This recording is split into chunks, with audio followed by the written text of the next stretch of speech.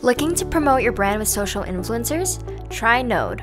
Node lets you create exclusive offers to influencers that share your business on Instagram. To get started, log into the mobile app, describe what you're offering to influencers and when it can be redeemed. You can also specify any exemptions and whether influencers are allowed additional guests. Once you've clarified what you're offering, filter influencers by audience size and their distance from your business address. Only those that fit your criteria will see the offer.